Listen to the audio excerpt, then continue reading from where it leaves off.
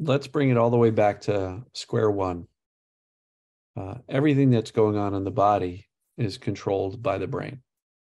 It's my belief that the, when the brain perceives danger, symptoms are the result. I'm telling you that your brain and your nervous system is working perfectly. And anytime you have an illness that not only has three initials, but a slash and two more, CFS slash ME, as the brain perceives more and more danger, symptoms can absolutely intensify. Scrap the labels because all that does is stamp a thing on your head that says, I'm broken. That was the moment where I realized that I was never sick. That was just some idea that I had about myself. Well, what you're doing is showing the brain, I'm perfectly fine. I'm not afraid. I'm okay. Consistent messages of safety are.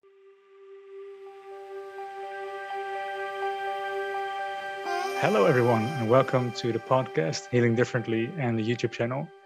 I'm here today together with Dan Buglio, and he was a huge inspiration for me in my own healing journey. And here he is. So thank you very much for wanting to talk with me, Dan.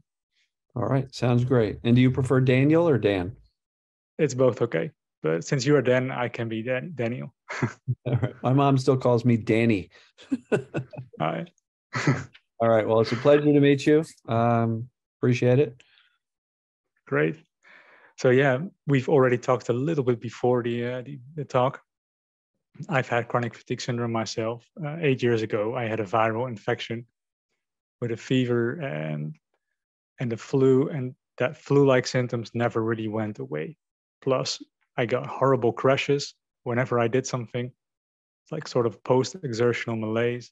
Mm-hmm and it's sort of the same thing that marathon runners have when they um, when they are almost finished they hit the wall. So it, it feels like i ran a marathon but i didn't do anything. Right. And i was i was like what is wrong with me? What is this? And i searched the internet full of things. And there were so many things you know that cervical, cervical sten- spine stenosis uh, the mitochondria being damaged um, tooth problems. Someone told me I had to remove all my dental, all my all my teeth, and uh, the immune system was weak. Uh, whatever, um, just a lot of stuff that we had to do in protocols, and I, I did all of them. Well, I, did, I didn't remove my teeth, and I was like, "What is this?" It's sort of sort of a burnout, and I stopped working, and I didn't really have a clue what was going on with me stop work when I stopped working, and this is almost for everyone that I speak the case, then things really hit rock bottom because then you've got like 100% of your time to focus on your problems. Sure, I agree. So if someone is listening and is exactly in that spot where I used to be like seven years ago, what would you say with your knowledge about TMS and pain and these kind of symptoms? Yeah, so let's bring it all the way back to square one. Uh, everything that's going on in the body is controlled by the brain. And so it is my belief, and I've seen uh, lots of examples of people getting better by implementing a process I, I teach and share. It's my belief that the, when the brain perceives danger, symptoms are the result. Now, in my world, my symptoms were back pain, sciatica, and I had 13 years of that. Um, I was not a chronic fatigue sufferer, so that was not something that was very heavy for me. Um, but I will say I recently had some kind of viral infection. It was not COVID, but I was out for about a week. And the fatigue was very strong. Um, was that viral? Was that my brain perceiving danger? I don't know. I'm not really sure. But what I can tell you is this I feel perfectly fine now. I had a little bit of um, lightheadedness, kind of a feeling like a little bit of a faster heart rate, and uh, particularly on moving, a little bit of dizziness uh, as a result of being sick. So, was that truly a viral thing or illness, or was it the brain perceiving danger? What I can tell you is none of it became persistent or chronic because I gave it zero fear, zero attention, and I trusted my body to recover from whatever was going on, whether it was physical, structural illness, or the brain creating symptoms. So I do believe that perceived danger creates virtually any symptom in the body. Right. If the brain perceives that life is too intense, this is not scientific. This is kind of me joking a little bit. But uh, if the brain perceives that life is too intense, too overwhelming, too scary, too dangerous, it essentially says, take a nap, go to sleep. Now, are there a lot of things that are happening through the mitochondria, the adrenal system, the you know, the blood work, the oxygenation? Yes, there's all sorts of stuff going on. But trying to become a microbiologist to solve the problem of fatigue, as you may well know, uh, leads you down many dark paths of processes, treatments, worries, fears, more fears. This treatment didn't work. Oh no, now I have to do this. Right. And we can get very lost in the medical world.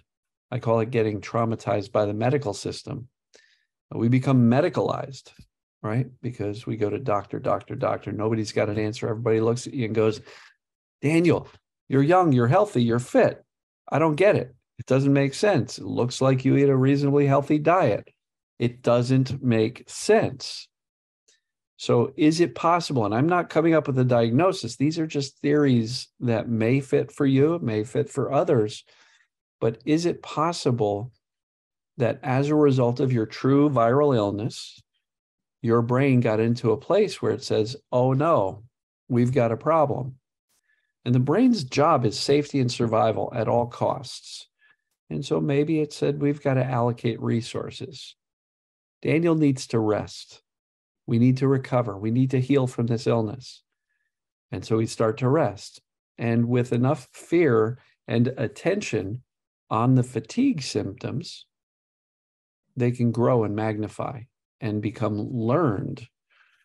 And the more fear you've got surrounding this fatigue, like you said, the more you sit around at home on bed rest going, I can't even get up and go to the bathroom without being absolutely exhausted.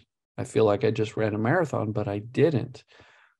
And all the while, the brain is just trying to keep you safe because the safest place for you is in bed or on the couch and resting because everything yeah. else is too dangerous.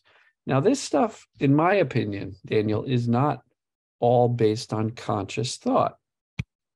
I'm not saying any of this was your fault or something you did to yourself. I think the brain, subconscious brain, manages everything the autonomic nervous system, the, the heart rate, the breath, the you name it. Even fearful thoughts are coming from a scared brain that's going, oh no, what if we never get out of this fatigue? Right. As the brain perceives more and more danger, symptoms can absolutely intensify and what I am seeing more and more, about a year, a little more than a year ago, I went from talking about TMS, right? And I used to joke, too much stress, TMS. But that's Dr. Sarno's theory. And for anybody who doesn't know who Dr. Sarno is, he's been writing about this mind body reason for symptoms since the 70s, 80s, you know. And um, his theory is that it had everything to do with emotions right? Repressed negative emotions, primarily rage, were why people would end up with back pain or headaches or any number of things. Um, so if you're not familiar with Dr. Sarno, you can certainly look him up on Amazon, maybe buy a book and uh, start understanding the original theories. Uh, when I talk about perceived danger being the driving force behind the brain creating symptoms, I think the symptoms are the brain's warning signal to say, Daniel, there's something bad going on. And I need to warn you, but I'm the subconscious brain. So I can either give you worrying thoughts. Oh no, what if this fatigue never goes away? Or I can give you fatigue, in which case you're going to pay attention. Sarno thought that the brain perceived these negative emotions as dangerous and thereby created something physical like pain to distract us from the emotions or protect us. I like the word protection better. But within Sarno's theory, that still fits under the umbrella of perceived danger. Brain perceived emotions as dangerous. It's distracting us with some pain, right? Mm. In your case, I don't know if that applies. Maybe the perceived danger was the viral illness that you had, and your brain perhaps may have um, amplified the, the fear and danger from that illness and once you started tumbling down that, you know, snow covered mountain slope, the snowball got bigger and bigger and bigger, and the fear got bigger, and the perceived danger and the lack of answers from the doctors and medical authorities and research that you did on the internet and treatments didn't work. And that snowball got bigger and bigger and bigger until the point where you were on bed rest. You couldn't do anything because your brain was terrified. So now, yeah don't know too much about your story. I spent a couple of minutes on your website. We touched very briefly, but it sounds like you have come mostly through the very extreme um, fatigue symptoms. And I would venture to say that one of the ways you did that, and you can correct me if I'm wrong, is you dialed down the fear of the fatigue and you taught your brain we're really not in danger. Hey, look, brain, I'm a young, healthy, fit guy. There's no reason for me to be this fatigued. And as you dialed down your fear and created more safety, your brain started to lift some of these feelings of fatigue. And the fatigue is real. For anybody listening, nobody here is saying that the fatigue is not real. It's very real. It's just, in my opinion, I could be wrong. In my opinion, it's created by a brain that is perceiving a whole bunch of danger about energy usage and metabolism and dietary choices and hydration and supplements and right and if the brain is always on the lookout for danger it's probably going to find it hmm. so I, I do believe that perceived danger creates symptoms particularly fatigue and one of the reasons this comes true is or believe one of the reasons i believe it is I spoke to a lady about five years ago. She was in England. She had to climb to the second floor of her home for us to do a one on one coaching call. And she got on the call and she was like, so exhausted. And she was coming to me because she had some pain, but she was also absolutely floored with exhaustion, fatigue. And what ended up happening was we spoke for about an hour and a half, and I shared a lot of my my understanding and recommendations for her. She sent me an email the next day. She says, Dan, it was unbelievable. I could barely climb the steps. I was practically crawling up the steps to get up to the computer to have the call with you. After the call, I had so much energy, I actually hoovered, vacuumed the house. Well, how is that possible? Did her mitochondria and energy and adrenals all recover like that? Or did the brain say, wow, we're not in trouble? We're okay. And very quickly, the fatigue lifted. Um, and I, have spoken to other people with fatigue uh, in my coaching program. Inevitably, the more fear, focus, attention, and micromanaging how's my fatigue level now? How is it now? Inevitably, the more focus you put on it the more fear you apply to it, the worse you feel the more you say to the brain, shh, I've got something to do. I'm going to jump in the car. I got to drive eight hours and I'm going to go on vacation and I can do this.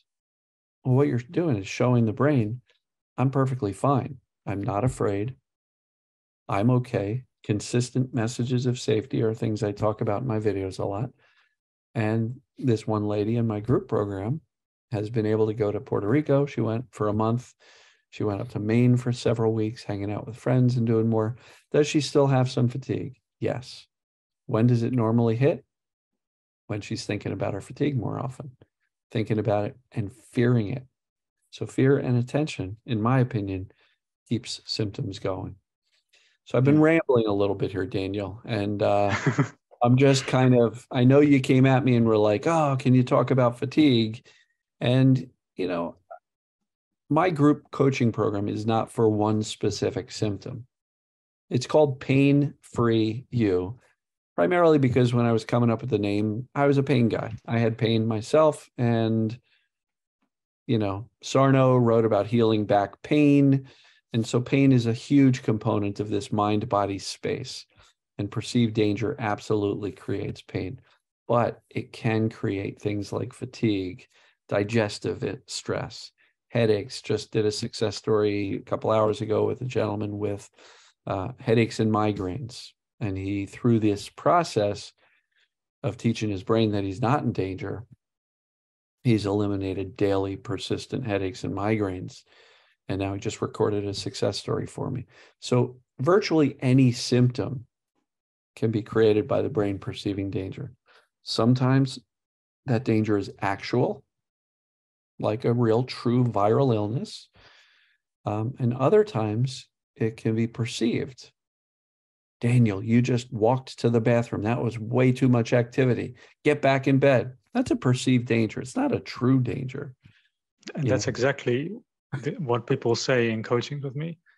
Like, I don't dare to go to the toilet. So I have this little thingy next to my bed where I can pee in because I'm so afraid to go to the bathroom. Because they're fearful of the what happens afterwards. Yeah.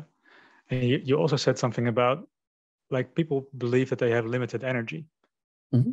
but sometimes something happens and they've got a lot of energy so sometimes they think they're overdoing it and other times it's just like oh wow suddenly i have a lot of energy and then they go ups and downs and ups and downs and they're afraid then afterwards for the things they did and that yeah. becomes sort of a mess yeah so one thing I'll, I'll caution anybody listening is stop trying to figure it out. Right? Because if you say, oh, I did this, bam, I was floored by fatigue for a week. What are you going to do with that one thing from now on? You're never going to do it again. Right? So if you are searching for and identifying and writing down and remembering these 18 things trigger my fatigue, what are you going to do? You're going to shrink your world so you never do any of those 18 things. And you'll end up like Daniel in bed because we're so terrified of the, you know, flooring fatigue that's consuming us and devastating because we literally, fortunately, I've never felt dealt with it, but I've talked to a, quite a number of people with it. Uh, you just feel like, well, if I do this, I'm going to end up in bed for a week and I'm going to have to pee in a little, you know, a little bottle uh, because it's too tiring to go to the bathroom. And that belief system perpetuates the brain's perception of danger or fear to say, don't do that, don't do that. And then we get caught up in our negative thinking or fearful thinking or catastrophic thinking. Will this ever end? I've gone to every doctor known to the sun and nobody can figure me out. I'm a young, healthy, fit guy and they the doctors can't figure it out so i must be some specially kind of broken some special kind of illness that they haven't found yet and i'm sure there's many people listening that feel that way it's very common and what i will tell you is none of this is your fault it's where you ended up now the great news daniel by example and me by my anecdotal stories of people i've worked with there is a solution right and some people will hear like, well, this mind body thing. Okay, so Dan, you're telling me my body's okay. Are you telling me my brain's messed up? What's wrong with my brain? Why is my brain doing this to me? Don't, right? I'm afraid of my brain now. Now I'm afraid of fear because you're telling me perceived danger is a problem. So I can't be afraid anymore. Oh no, I'm afraid of fear. I'm afraid of my brain. Am I mental? Am I emotionally disturbed? What are you telling me? I'm telling you that your brain and your nervous system is working perfectly. Perfectly. It's just operating on bad data, meaning misinformation and fear. What's the misinformation? Well, spend an hour looking up chronic fatigue syndrome and myoencephalitis on the internet. You're going to see a lot of fearful stuff. And I'm not encouraging you to do that because many of your viewers have already done that and have been down that path. And there's not much out there other than a whole bunch of fear a bunch of theories, a bunch of opinions as to what the cause is. And correct me if I'm wrong, there's not really a blood test to say, yep, you've got chronic fatigue. You know, it's a, a clinical diagnosis based on your symptoms. So, yeah, I think at a certain moment, they will find because you know something is happening in the body created by the brain. So at some point they will get a test and say you've got this.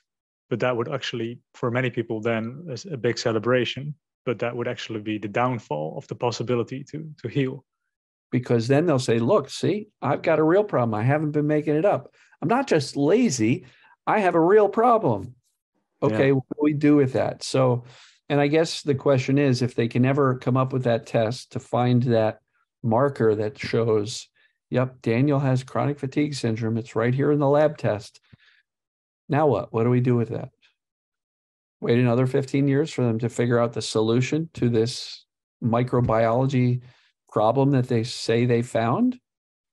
At the end of the day, Daniel didn't have a solution that came in a bottle of supplements the solution came from between his ears, you know, from his conscious thinking brain, dialing down the fear, learning more about it, understanding how fatigue works, how the brain works, and how fatigue is, at least in my opinion, correct me if I'm wrong, Daniel, maybe you agree. Fatigue is the brain's way of protecting you and keeping you safe.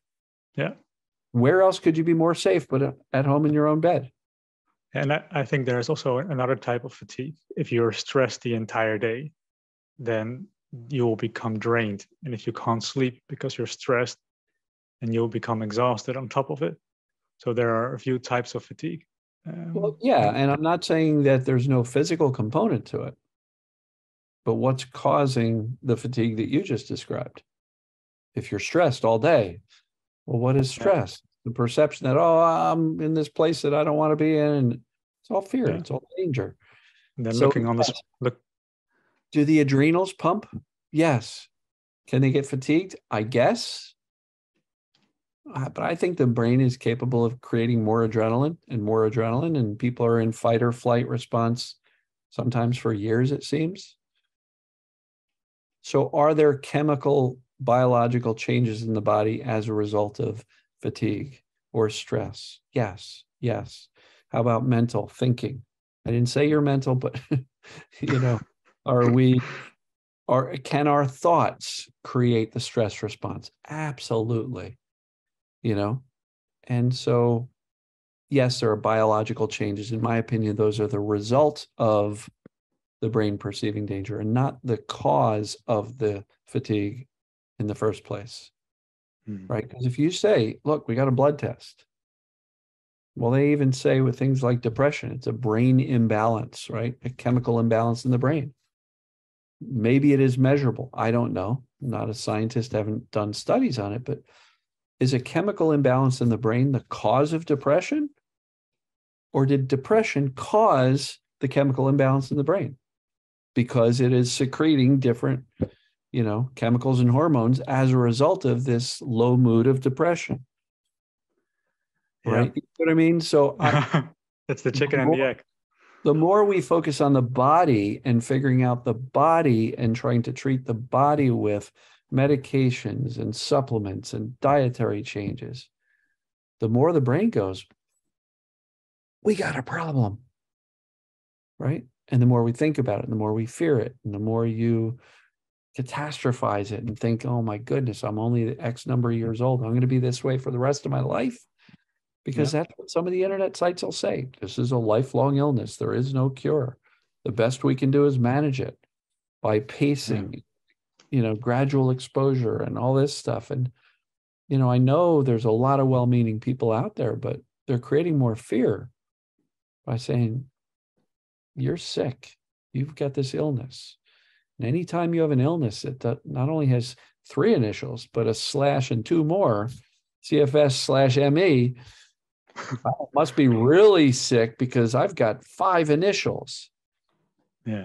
So there's a lot of credibility to these medical labels. Um, and for anybody watching, I would probably say if this stuff that we're talking about makes sense with you, scrap the labels because all that does is stamp a thing on your head that says, I'm broken. And every time you say, I have CFS ME, your brain goes, oh, I remember all the stuff we read about that. I remember what the doctors told us about that. We got a problem. Yeah. You say, I'm still feeling fatigued. I'm tired. That sounds a little bit less long term, doesn't it? You know, I'm actually glad that you're saying this. So this way people don't get angry on me. oh, they can hate on me? Look, no disrespect, folks. I'm not suggesting that what you are going through is imagined, make believe. I'm not saying you're lazy. I'm not saying any of that stuff.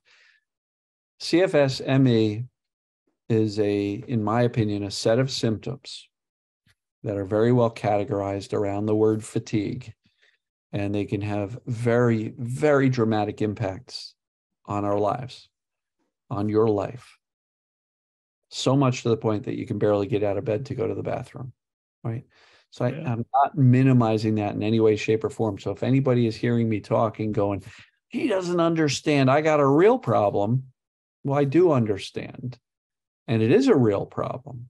Yeah. It may just the reason it may just be caused by something different than the doctors have told you. It yeah. may be caused by the brain perceiving danger, and it's not your fault. You didn't do it to yourself, it's just where you ended up. And the great news is, and the thing that Daniel focuses on the most is helping people to learn about it.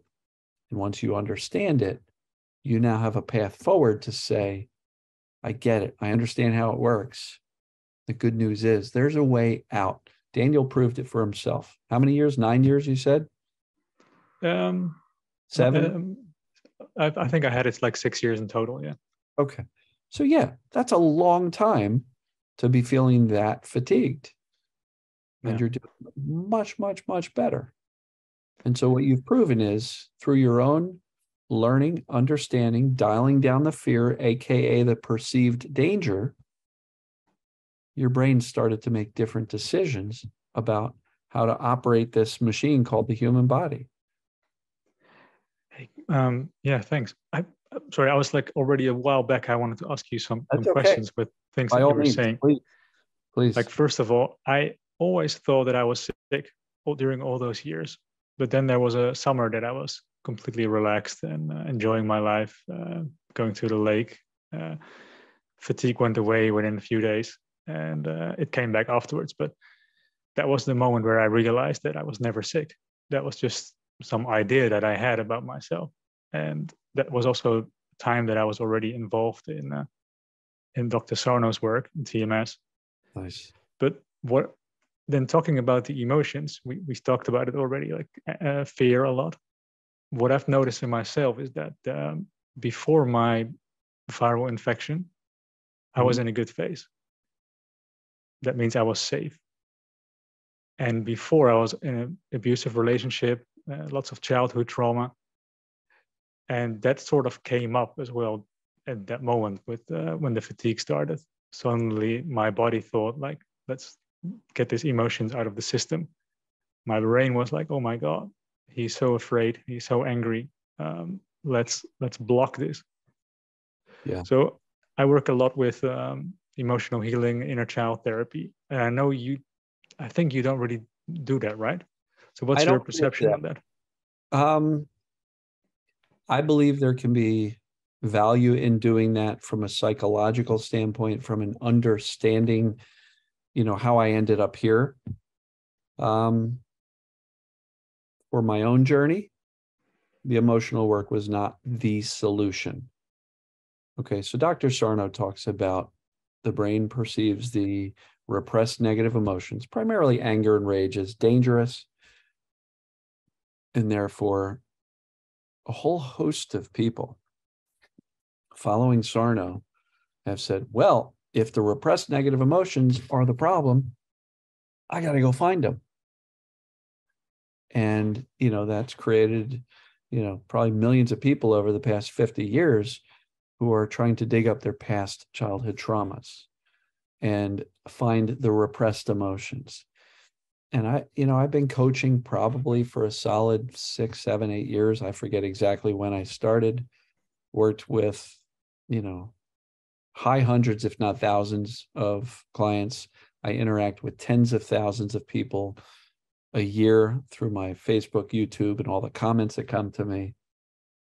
I don't think I can remember anybody that says, I found it. This happened in third grade and when I found that and experienced that trauma again, poof, all my symptoms went away. Right. And Dr. Sarno even wrote about a woman, I think her name was Elaine, who had an outburst of rage and her back pain went away. And everybody who reads the book goes, I want that. I want right. that. Where's my outburst of rage? And then we go looking for it and we're looking for the the repressed emotions. In the meanwhile, the brain's still perceiving danger. Like in my case, I did all the emotional work. I journaled for six months. You know, um, I never went to therapy. I did not go to a trauma informed counselor. Um, I didn't do all that, but I journaled and I wrote about everything I could remember from my childhood to, you know, my present moment, uh, personality traits. What do I believe about myself? And never got better as a result of doing that. Now, was it useful? I guess to a degree. And if people are saying, I think I need therapy, are you doing it to fix your symptoms or are you doing it because you'd like to get better acquainted with yourself? I think they can be two separate things. I'm not saying trauma work is not beneficial. It most likely is. For somebody who's been severely traumatized and it's still affecting their daily life, by all means, if you can find a good trauma informed expert to help you, that may allow you to dial down the current day impact of your past traumas. But I don't, within my course and within my coaching, I don't tell people spend a bunch of time digging up the past skeletons, the past traumas. Number one, it wasn't part of my solution. I'm not saying it hasn't helped other people, it very well may. Um, but number two, I'm not qualified to tell somebody I just met on a one on one coaching call here's how you go review all your past traumas and do it safely. I mean, I have no idea what some of the folks I am working with have experienced in their lives. I've heard some of the stories, some of them are pretty horrific. And it would be very, at least in my opinion, irresponsible of me to say, you need to dig up the trauma.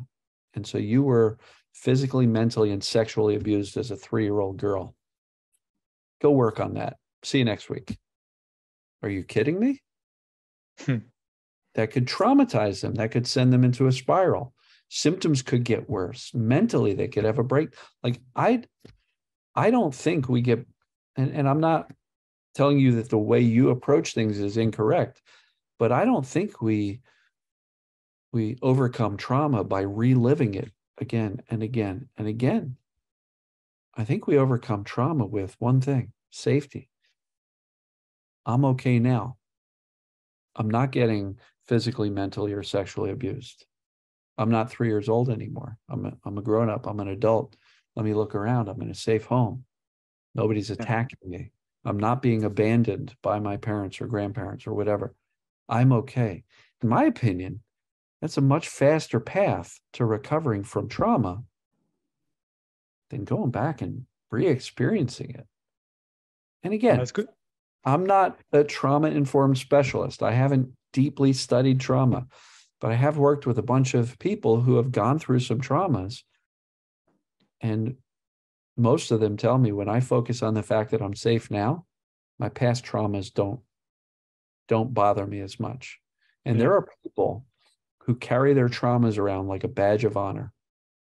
In other words, I was working with a lady who's 60 years old and some horrible stuff happened when she was 14. Almost every call we had, and we had a lot of calls, she'd be talking about, but my trauma when I was 14, but my trauma when I was 14. She kept revisiting it over and over and over and carrying it around as like, I'm 60 now, but what happened at 14 is why I'm messed up now. It's like, that's why you still are experiencing the results of that trauma because you can't put it down. Yeah, no judgment actually, for anybody who's gone through this. No judgment. Yeah. it actually also means that it is not a trauma because if it were to be a trauma, then you wouldn't remember. So people have these depends on the level of trauma. Yeah, Yeah. there are there are certain extreme traumas that the subconscious brain is so smart that it literally blanks out the memory and we don't Yeah. remember. But yet but, that person has, it. has a perception that something dangerous is going on, even though they can't remember it. So look, I'm not suggesting any of this stuff is straightforward, simple. It's a very complex thing. And everybody's life is different. Everybody's childhood is different. Our traumas are different. I've just seen through experience and working with a whole bunch of people that one of the best ways of moving people forward is to say, I'm okay now. And even though I'm feeling this extreme fatigue, or in my case, the back pain, the sciatica, the guy I spoke to this morning, his migraine headaches, when you understand that the body's actually okay and the brain is creating it to protect us, it's a warning signal.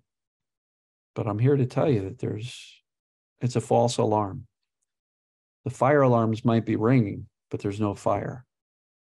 Right. And what you've learned is I was never sick. I went on holiday for a summer and you learned a little bit about the mind body and you decided for that summer i'm going to actually go enjoy this lake and my holiday. And what happened? Your brain was like oh daniel's safe. Look at that. Cool.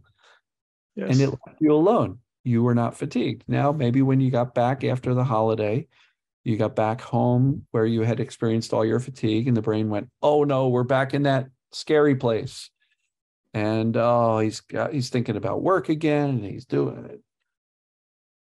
What changed? Geography yes you're in a different location but what changed?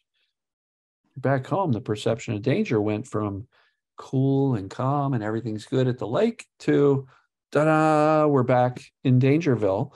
And what happened? Your fatigue boom came right back. Yes.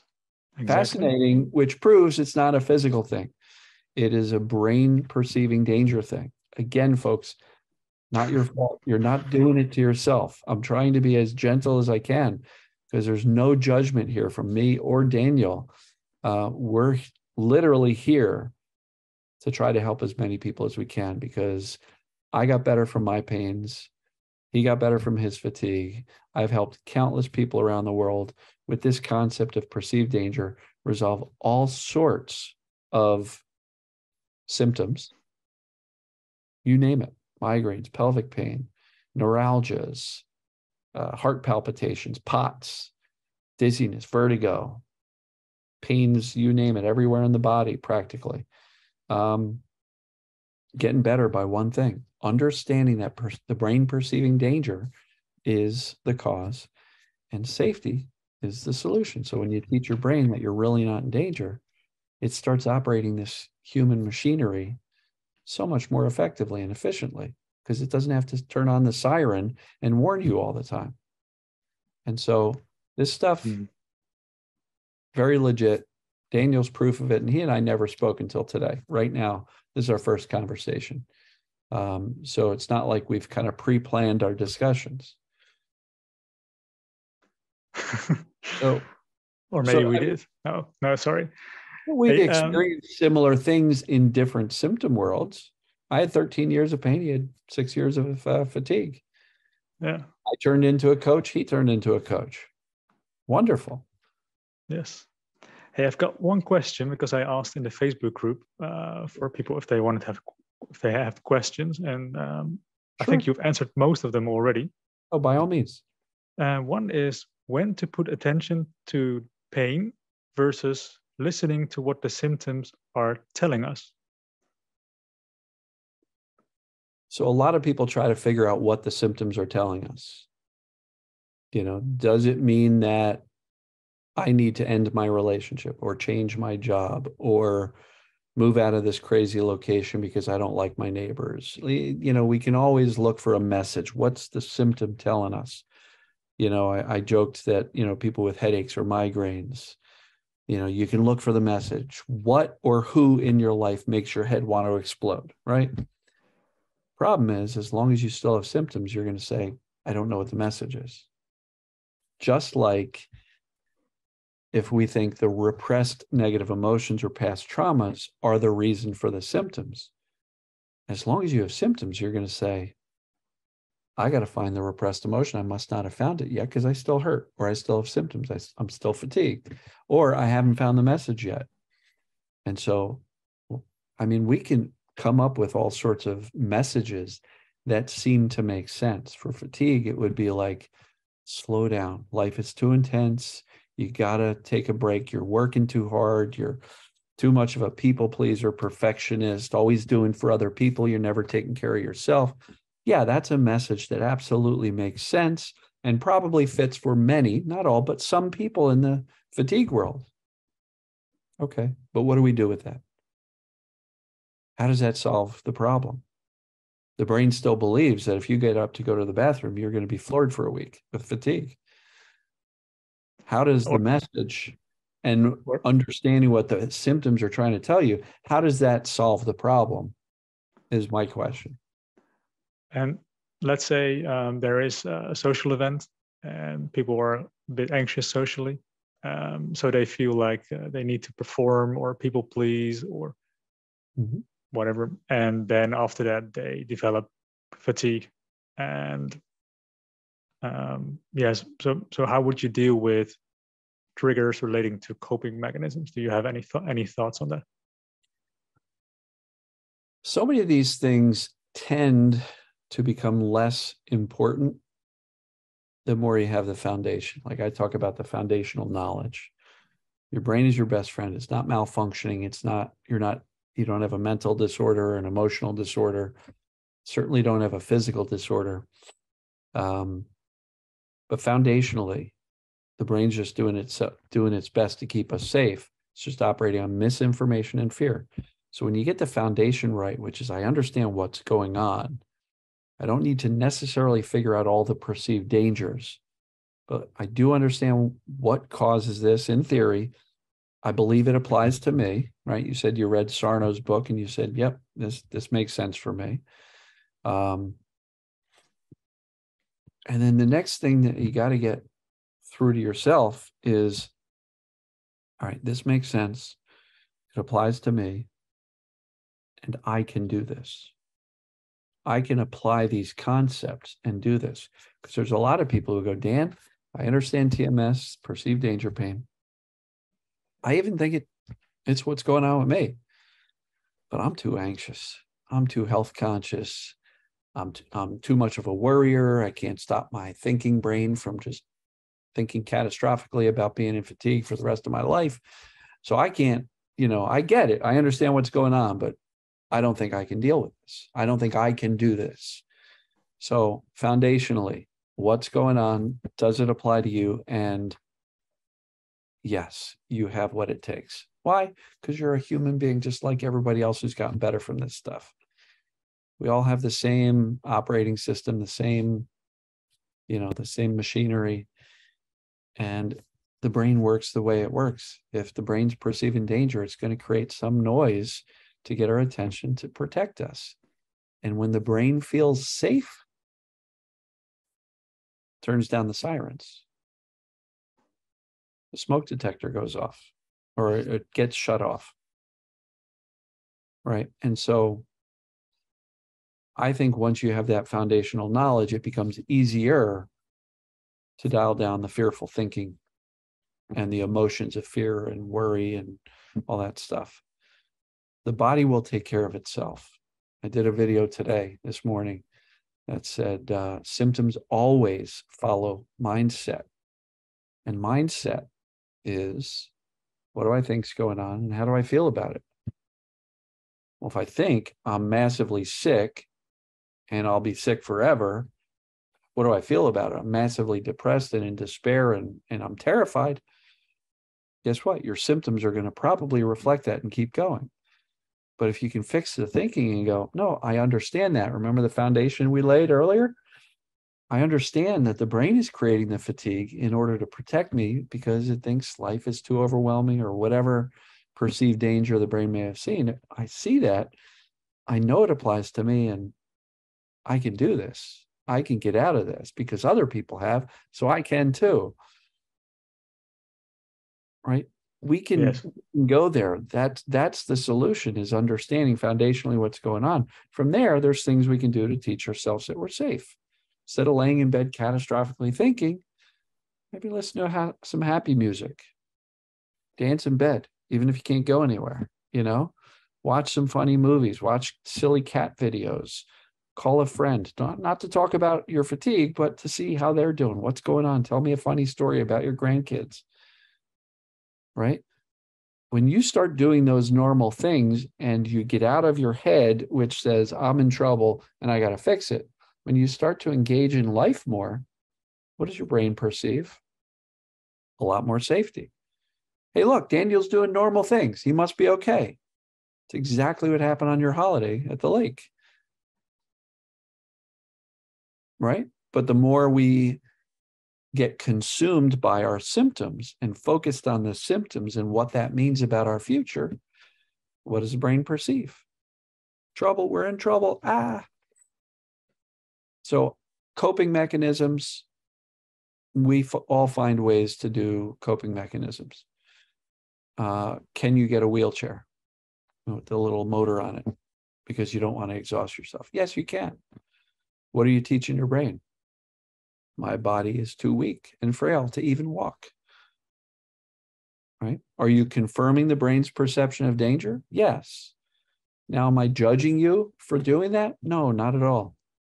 Not at all. My mom was, you know, probably in her 60s or 70 when she went to Disney World with her grandchildren. And she just couldn't walk as far as they needed to walk. She got a little scooter. No judgment. Ended up being kind of fun for her and the grandkids who could sit on the lap. Go. Right. So Yes. coping mechanisms, we all have them. Sometimes it's an afternoon nap.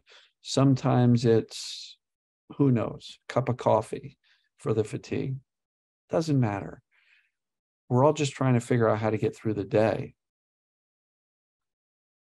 But if you don't understand what's actually going on and causing it, and you don't understand the path moving forward, which is to teach yourself that you're safe emotionally, physically, and mentally, a big way of doing that is by understanding the what's going on and how to get out of it, and then giving as little fear and attention to the fatigue as possible. And gradually, I'll say that, starting to resume more and more activity, doing so without a lot of fear of, you know, the the blowback of being laid up in bed forever. That's how you start to regain your life. And and you know, Daniel, you tell me when you started to get better, was it boom, I'm done, I'm I'm perfect, or was it an up and down journey? Oh, lots of ups and downs. Yeah, so flare ups from engaging in the world more and you know better times. And Yes. so the good news is the better times show you what's possible. And you Plus, said you said 3 days your fatigue was gone. yes, like all of a sudden my fatigue was gone. So the structural thing was not structural anymore. It wasn't biochemical, it wasn't adrenal, it wasn't metabolism because all those things would likely take a lot more time to change than 3 days. But you know what changed? Your brain's perception of danger. Wow, different environment, not in the suffering place. He's on holiday. There's a beautiful lake. He's surrounded by friends or family, whoever you were with. Cool, we're all right. And all of a sudden, the brain just goes, turns off the switch, and you enjoy, you know, a good time. The key Yeah. is to get to that place of safety and knowing deeply that you're okay. And that was the best experience that you could have had because now, anytime you're feeling fatigued, you can go, Hey, brain, don't you remember this? There's not a darn thing wrong with my body. So, brain, shh, turn off the fatigue. We're good. Yeah. I can handle standing at this rock concert for six hours. It's not going to floor me for six weeks. I'll be a little tired standing on my feet, and I'll be probably a little bit tired tomorrow. That's normal stuff. You don't have to floor me with this. I don't have to sleep in the back seat on the way home. Right. Yes. And we can have those rational conversations with our brain, but you got to start with an understanding of what's going on, that it does apply to you, and you are capable of getting better. And even fearful thoughts, the worrying. Oh no, what if I can't get better? What if what if Dan is full of crap and what if Daniel got lucky? This won't ever work for me. You think you're going to get better with that type of mindset? Not likely because you won't want to get out of bed. So I've been doing a lot of the talking. This is your podcast. What else do you want to know or what else do you want to ask me or share with the audience yourself? Yeah, so I've been listening a lot, and you know, the, I going back to my own journey. I think it was 2018 or something that I started having an interest in, in TMS, and mm. I was the whole time because it was only about pain. I was like, oh, this will never apply to me. Hmm. But every page I I, I continue with, hmm, could be, and and then what is the difference between pain and fatigue? Not not a lot actually, right? Yeah. So then there came a moment, and that was after those three days that I thought it's TMS together with some exhaustion from sleep deficiency and, and stress. And but sleep that, matters, sure. Yeah, but I remember that there, there, there came a few days of or a few weeks even of being really sleepy and, and sleeping like 12 hours a day and, and being a little bit groggy. But after that, that went away and I was energetic and I could go on hikes. But sometimes the hike was a bit scary Mm-hmm. And uh, and then um, I did like I committed to a five hour hike, and then the next morning I woke up feeling like shit. That was again my. That's the thing. You said the key word. The hike was a little scary. Perceived. Yes. Now let's talk about that because for anybody who seems like you can do an event, but you pay for it later. My perception of what's going on there. Let's say you go on a five hour hike and you're feeling okay on the hike. You're doing all right if there's a delayed reaction with symptoms hitting you later, sometimes it's a hypervigilant brain always looking out for danger.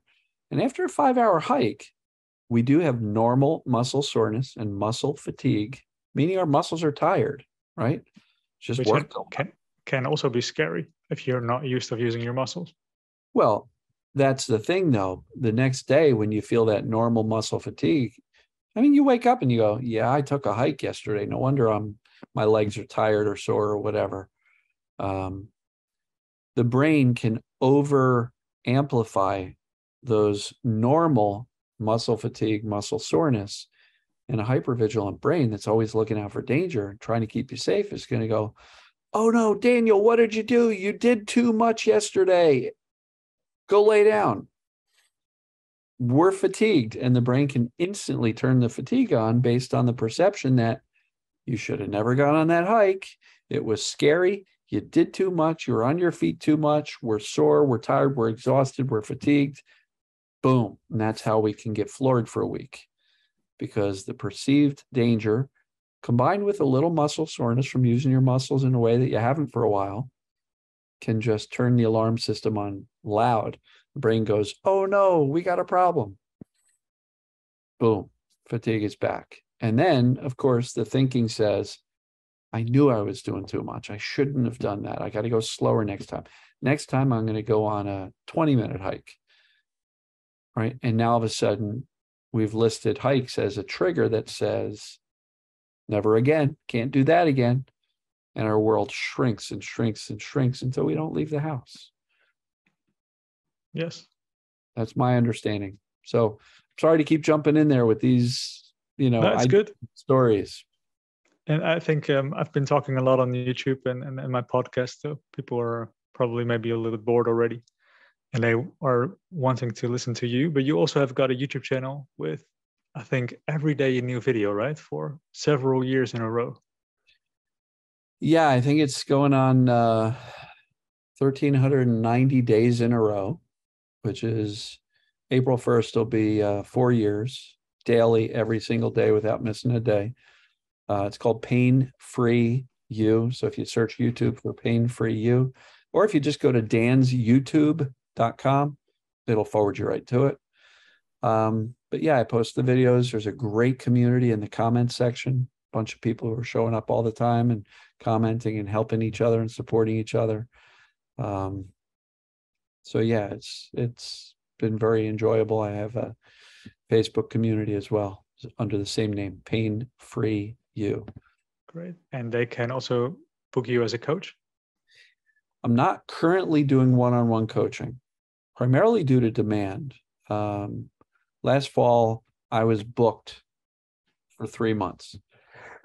If you wanted to talk to me, you couldn't get on my schedule for three months. I had that many people. I literally had like a hundred calls booked.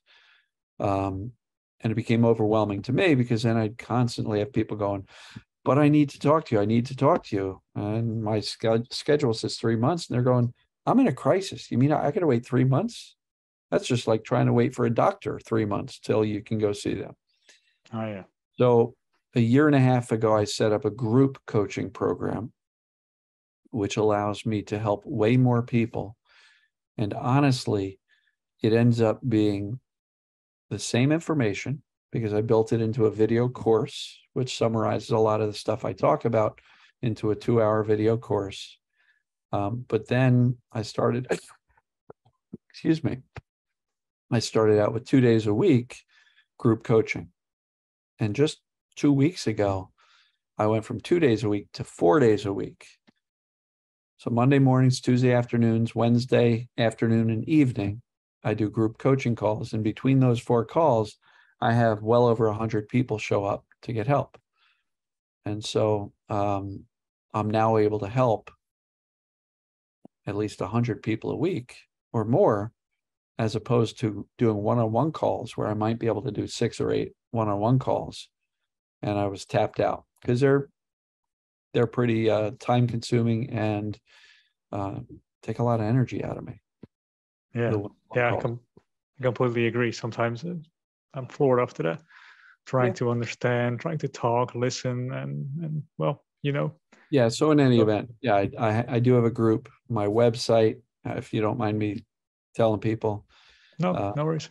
The website is painfreeyou.com. And if you go to the Get Help menu item, you'll see the link for the group coaching. I also have a good getting started page which is a really good primer for anybody who's kind of new to this stuff and wants to understand this perceived danger pain, how it works. There's some assessments that kind of help you figure out that this is what's going on for you. The assessments are a little bit more geared towards pain or other symptoms. So you may have to kind of make it work by substituting the word pain for fatigue, but you can get a really good idea as to whether or not it applies. And frankly, unless you truly have some medical emergency going on. I think the vast majority of fatigue is just exactly what Daniel and I have been talking about, which is the brain perceiving danger and go take a nap. It's too intense. Life's too intense. Yes. Great, Dan. Dan, thanks a lot for your time. Thanks for talking so much of your knowledge and sharing it with us. Well, thank you for introducing me to your audience. Uh, hopefully, we can help some people out. And uh, I appreciate you inviting me onto the podcast. This was great. Great. Then thanks. And then I'll say bye to everyone. Bye. Right. so long, everybody. Take care. Great.